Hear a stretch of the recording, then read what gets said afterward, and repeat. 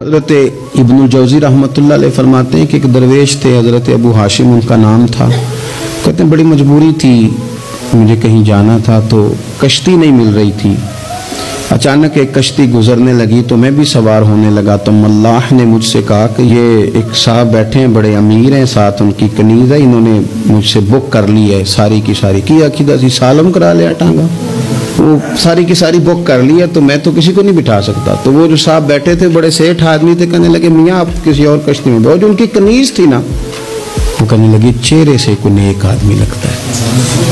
चलो, इतनी सवारियों की जगह है, किसी कोने खुदरे में बैठ जाएगा, हमारा क्या जाएगा? कहा अच्छा चलो, आ जाओ। इतने मैं कोने में बैठ गया, थोड़ा रास्ता आगे गया, उन्होंने खाने का सामान निकाला, मुझे भी खिलाया। लेकिन खाते खाते मेरी नज़र पड़ी तो उसमें तो शराब के बर्तन भी थे माजल्ला फिर उस शख्स ने खाना खाने के बाद उस कनीज से कहा कि मुझे माजल्ला गाना सुनाओ। वो गाने गाने लगी। ये मेरी तरफ़ मुतवजह होने लगा, मुझे कहने लगा, सुनो। मैंने कहा, मैं ये नहीं सुनता। फिर मेरी तरफ़ शराब बढ़ाई। मैंने कहा, मैं नहीं पीता। तो कहने लगा, तू क्या सुनता है? तू क्या सुनता है? तो कहने लगे, मैं सुनाऊं, क्या सुनता हूँ? सुनाइए। फरमाते, मैंने कुरान पाक पढ़ना शुरू कर दिया। कुछ लोग, मैं आपको यकीन से कहता हूँ, कुछ लोग ऐसे हैं, इनकी ज़िंदगी दूर गुजर गई है मस्जिद से, उन्हें को बंदा चाहिए जो थोड़ा सा जाके पैगाम हक सुनाए। नहीं, उनको पता ही नहीं है कि दीन मीठा कितना है, हसीन कितना है, कुरान में चाशनी कितनी, सरकार की तारीफ़ का नात खानी का रंग कितना शानदार है। मेरा ये मानना है कि जिसे रब रसूल के रंगों की खुशबू का पता चल गया ना, फिर दुनिया का कोई और रंग उसे अपनी तरफ़ मायल कर ही नहीं सकता। सवाल ही पैदा नहीं होता। कुछ लोगों ने सूँगा नहीं है, आए नहीं है, करीब नहीं आए।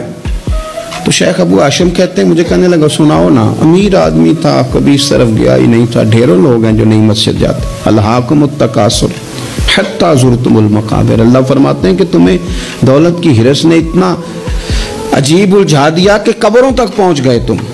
बहुत सारे लोग हैं, कब्र में चले जाते हैं, मस्जिद में नहीं आते।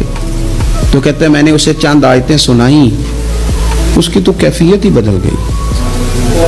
कहने लगा, मौलाना, ज़िंदगी बड़ी गुनाहों में गुजरी है। अब तौबा कर लूँ तो मालिक माफ़ कर देगा? कारनामे खतरनाक हैं। पीछे रजिस्टर काला स्याह। माफ़ी हो जाएगी? दौलत बड़ी थी तो फिर हमने भी शराब, कबाब, शबाब में उड़ा दी सारी। माफ़ कर देगा। तो कहते हैं, मैंने कहा हो हो बंदे के आने की देर है, उसकी रहमत तो फ़ौरन ही कबूल कर लेती है।